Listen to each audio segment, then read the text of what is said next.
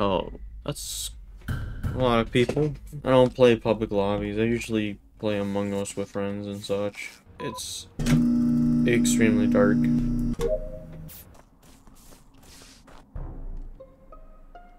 Wait.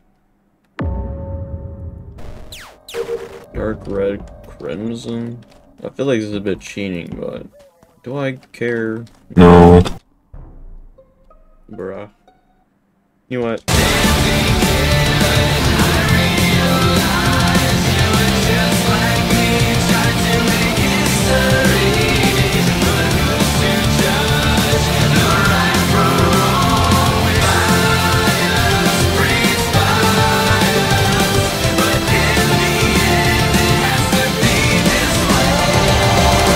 Fucking kick orange Jesus. Oh, nobody thinks I'm funny.